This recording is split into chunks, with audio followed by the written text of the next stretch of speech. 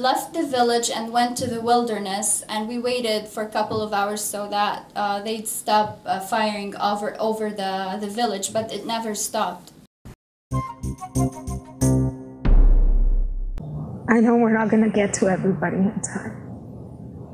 I, I hope two days ago I said I was concerned about that.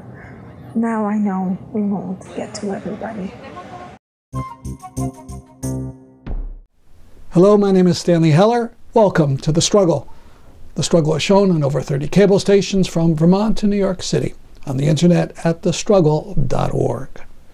This week, an account of what drove a community of Palestinians into the wilderness and then into Lebanon nearly 70 years ago. Then conditions in flood ruined Puerto Rico and news about UNH and Saudi Arabia, and the Take a Knee protest. Finally, a farewell to a beloved New Haven activist. On September 21st, two Palestinian women spoke at Central Connecticut State University. They are living as exiles in Lebanon. Uh, so we're gonna start with the stories of Musa. First of all, you have to know, guys, that Musa was born in 1933 in Kabri village in Palestine. In 1938, her father, who was a freedom fighter during the British occupation, was assassinated by the British occupation. In 1948, she was uh, uh, expelled from Palestine along with her family and all the villagers in Kabri. In 1982, her, uh, four of her children were killed by the Israeli army during the Israeli invasion uh, to Be- of Beirut. And now in 2017, she's here with you sharing or trying to share uh, some of her stories.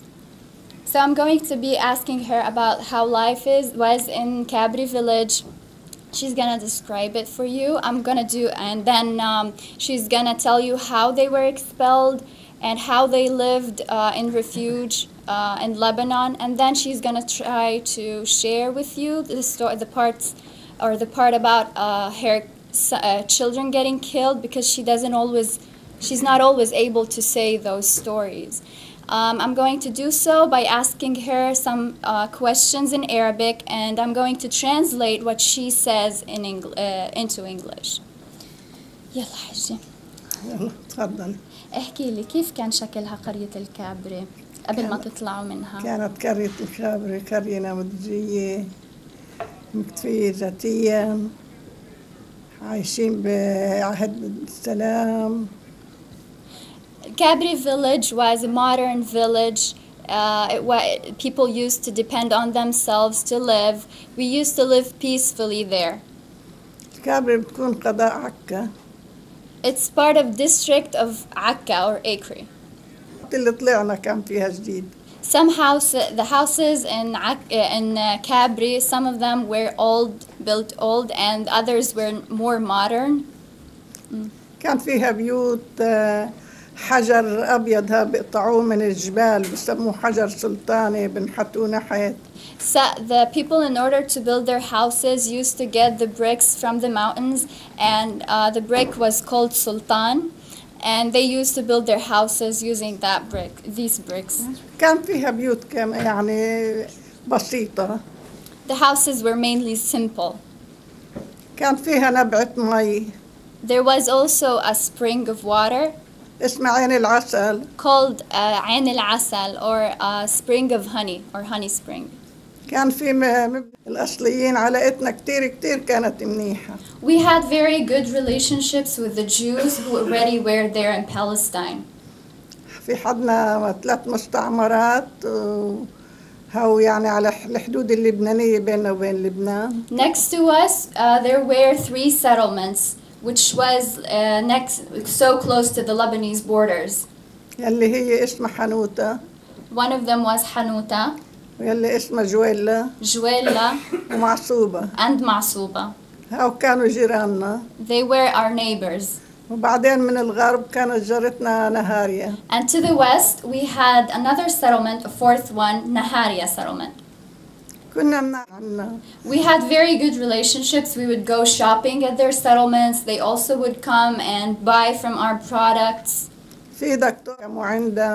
I still remember there were three doctors. One of them is Natan, the other one is Kiwi, and another one called Mariam. Those we used to go to, the, to these doctors all the time. At that time, my brother-in-law got engaged to a, a woman from uh, Lebanon. من زمان ما كان في سيارات وما كان في جابوا العروس على الجمل At that time, we had no uh, cars or vehicles, so we had to transport the bride over the camel. مرأة العروس We passed, while coming back from Lebanon with the bride, we passed through uh, Ma'suba settlement. The settlers in Masuba, who were basically Jews, they stopped us and they they insisted that we have to have lunch with them before leaving to our back to our village. So they prepared lunch for all of the fam the two families. وبعدين بعثوا معها And just before, after we finished lunch and before leaving, they just got us all kinds of products they had, and they gave them, they gave them to us as gifts for the bride and the groom. ونزلوا معانا يعني تقريبا شي شي 40 كيلو متر او اقل وراحوا حضروا العرس وانبسطوا وما كان في شي They even walked with us uh, all the distance back to uh, Al Kabri village, which is 40 kilometers, and they even attended like uh, the wedding, and we had so much fun at that day. طيب حجي احكي ما لمين So what a- what actually happened that made us uh, or forced us to leave um, uh, the village was between the Zionists who came, not between the local Jews. There was a farm that was basically on the borders of our village. Uh, it was an ancient farm. There was a very old building in that farm or a castle. Uh, and it, it was like, um, we don't know exactly um, when it was built. So the Zionist troops wanted to go and take over that farm, and they claimed that it, it was theirs. But we refused to let them in and take over the farm. So uh, they said we are going to use force in order to, to, to, take over it. And that's what, uh, why or how we decided to stop them. Since the farm had a castle or a, like a, a very ancient building there, we did not want them to take over it because it was so old. So we told them we're not just going to let you take it. But uh, after we insisted that we're not going to let them go and take over it, the uh, British Army came and they uh, said uh, they said that we're gonna let you uh, take over this farm uh, in, by force and under our protection. Someone came to the village and told uh, the chief of the village that the, the troops, the Zionists and the Br uh, British army are coming to take over this uh, farm by force. So we decided that we have to protect that farm, especially that there were no set settlements next to that farm. So uh, what we did after we knew that they're coming to take it by force, everybody in the village, like men, women, children, everybody head to uh, the road leading or connecting uh, uh, Akka with our village, and we just uh, um, put ev- like blockade. yeah, blocked blocked the uh, blocked the road. We so that we can we stop them from going to uh, the farm. أهل البلد And that's when a battle between us and the troops uh, broke out. We were able to actually stop them from uh, coming into the fa- uh, into the farm, and uh, everybody of the the troop they were all killed. Uh, the, the very next day, the British Army came. They took all the de- the killed um, uh, men, and they kept the trucks that were fired, uh, or we turned fire in them, uh, just right at their places. At the same day, uh, at night, at 10 o'clock at night, they started bombing our village. The Zionists used the same uh, area that um, the British army used in order to bomb the villages near us. دمروا كتير من البلد بالقصف هذا They destroyed most of the village during that bombing. People did not expect this to happen. We didn't have any shelters or anything like that. We have no weapons with us. So we left the village and went to the wilderness, and we waited for a couple of hours so that uh, they'd stop uh, firing over over the, the village, but it never stopped. The local Jews uh, already told us or warned us that we were not uh, going to be able to um, help you or protect you from the uh, Zionist or Haganah army. طيب احكي Everybody just uh, tr- ran away. Uh, many people, uh, j- we had nothing with us uh, but our kids. Some some people even forgot their babies back at home لا حتى وصلنا على حدود لبنان until we reached uh, the Lebanese borders. We reached the Lebanese borders, but the Lebanese did not allow us to go into Lebanon. So we basically stayed in Palestine, but by the Lebanese borders. And at that time, nobody was there. At that, like the Israel, the Zionist army was not there.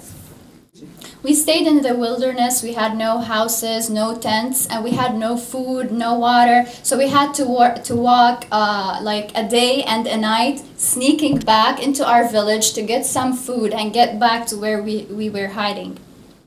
We uh, we stayed for a while, like doing this, sneaking into Palestine or to our village and going back home. But then uh, the Zionist army found out and they stopped us. And they blocked all the roads. At that time also, we would wait for the Lebanese people to start harvesting uh, the grains.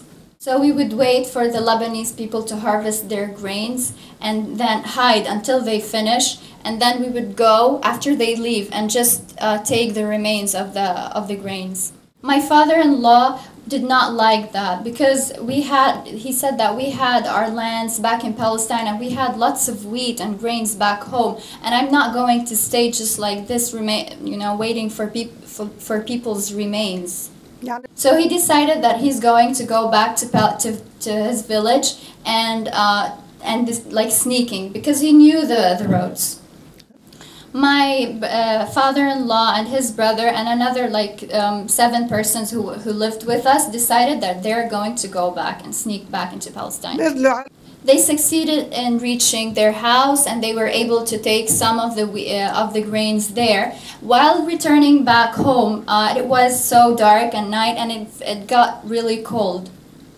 So they started up a fire and, you know, just sat around the fire to, to get themselves warm They, they, they were just sitting there and then they found out the, a big army, the Haganah army, just uh, surrounding them and holding the guns uh, up to their uh, heads. ارفعوا ايديكم و- والرصاص بلش عليهم They told them to hold, uh, raise their hands up in the air, and then they started shooting. Uh, they were all ten, and the same person that I was, I told you your, his story earlier. My brother-in-law who got married to a woman from Lebanon. He was also with them with his bride. So, but the my brother-in-law and his wife, they were just walking like by themselves away from the group, so they did not get killed. They were the only people who did not get killed. So they did. They were only 17 or 18 years old, so they got frightened, and they had nothing to do but to run a- to run back uh, to run away back uh, to where they to where we all were hiding. هن كثير اطفال ماتت Many وكتير kids عالم. died during that time, the seven months that we stayed between the borders because of fever and illnesses and diseases. منه من الجوع منه من البرد Some of them منه- because of starvation, others bec- uh, because of cold weather. عالم بهالبرية قاعدة وصارت الدنيا تشرين وصار البرد It was like we were just basically in, in the middle of the forests or wilderness, and you know, it got cold and we had nothing to hide. من هن يعني Out of the people who got killed, we only knew four of them. Who one of them was my um, was my uh, father-in-law and his brother, and two others were our neighbors, and the si- the other six we just didn't know anything about them till now.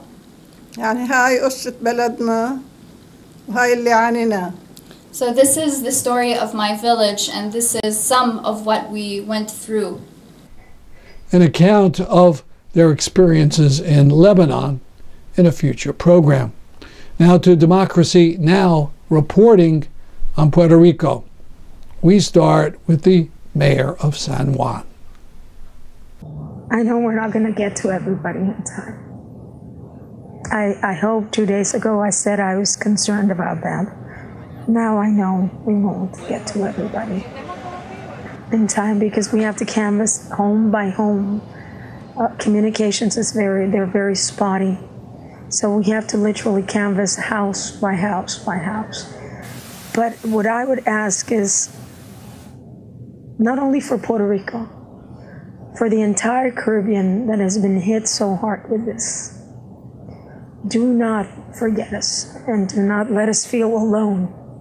That is the San Juan mayor, Carmen Yulín Cruz, who has spent much of her time in the water trying to save people. You see her with uh, um, uh, with a jacket on, uh, um, going from sometimes up to her waist in water.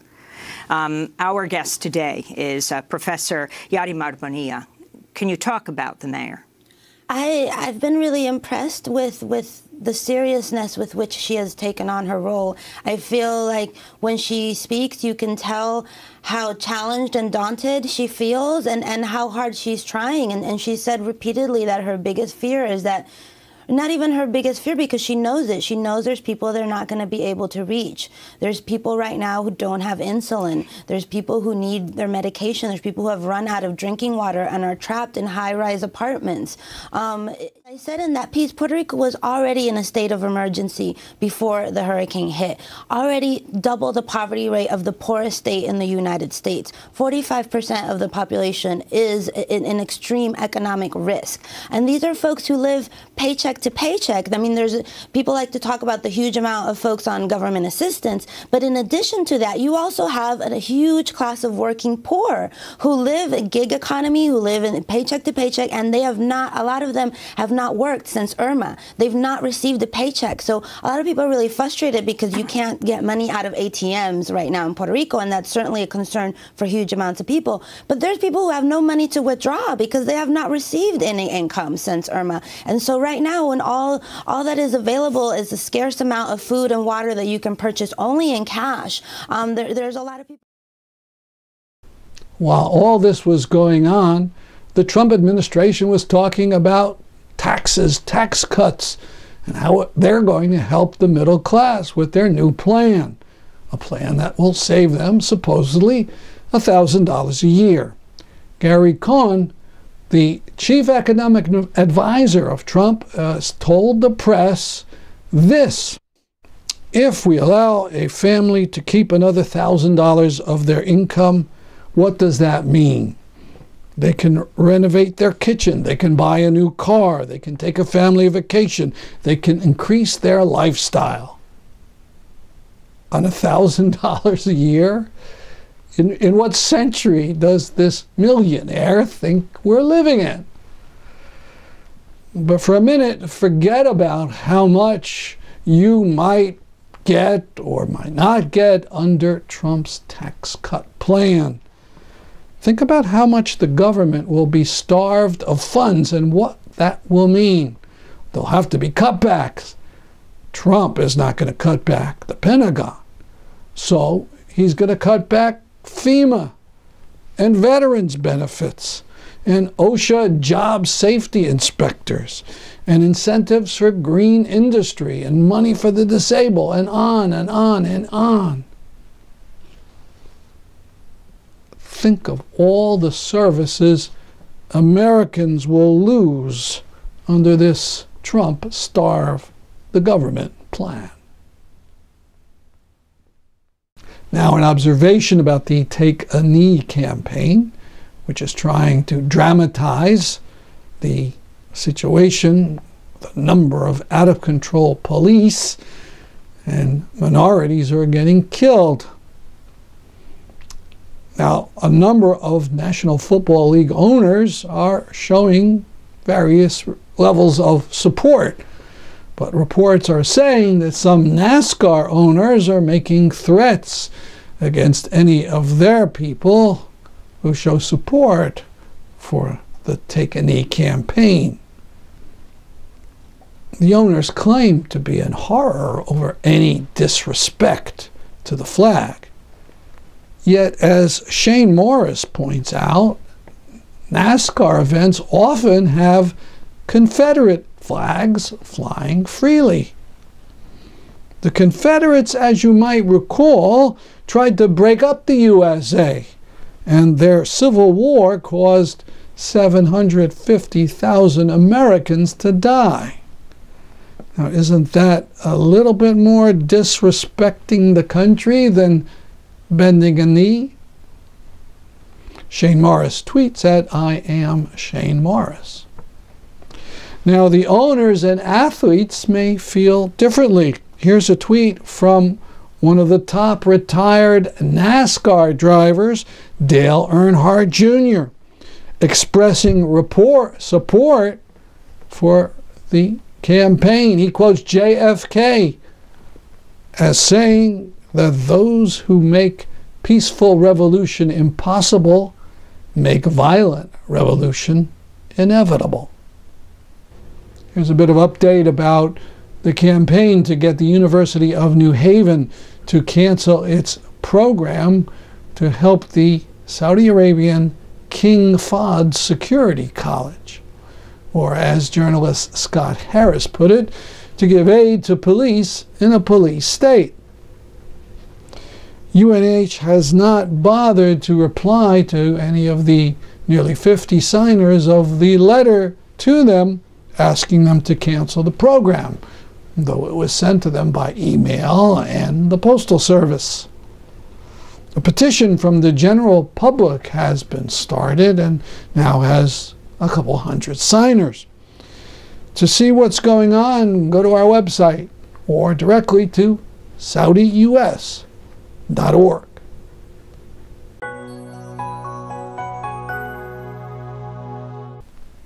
Finally, a tribute to the legendary New Haven activist Mary Johnson, who died in August at age 95. She was a teacher, a rank and file union leader, a big supporter of the Farm Workers Union and their boycotts, and active in a whole host of organizations from the Middle East Crisis Committee to People Against Injustice to the Progressive Action Roundtable. She took part in all the teacher strikes in New Haven and was the only woman to have been put in jail twice for having done so. I interviewed her for a program called It's Radical in 1994. Uh, there were 15 of us originally. Um, we were hauled into court about three times, and at on the third and final visit to the courthouse, uh, one of the members had developed some physical ailment, so she was excused, and uh, 14 of us were sent to jail. 13 of them were men, and they were sent to the old pre-Civil War Whaley Avenue jail, which was an absolute horror. And I was brought to Niantic, uh, which is the women's prison in Connecticut. What did you feel at that time? The only woman all by all by herself brought to jail? I I remember feeling good about it in in some ways, and I also was a little apprehensive because I had three children at home one of whom was 11 and was very upset about my involvement. And I was fearful that I wouldn't even be able to contact her to tell her what was happening. Uh, actually, I did manage it, but I had to make a public display in order to get my phone call. As they were taking me down the stairs in the courthouse, I began demanding my phone call because the judge had promised that we could do that. Mm-hmm. And the uh, sheriffs or whoever they were uh, didn't want to budge, but I began shouting about it so that everybody turned around to look. And they were somewhat embarrassed, so they let me go to a phone booth and I called my daughter. So here you went to jail for the union in those days, and for the teachers and for education. Did you feel it was worth it at the time? Oh, absolutely. Absolutely. And I would have done it again, which I did do later on. Uh, where would we be without those strikes? Back in the dark ages. I mean, the days of uh, being patted on the head and not getting any real rewards. Um, it, it's oh, it certainly was worth it. They never would have budged, particularly this Board of Education.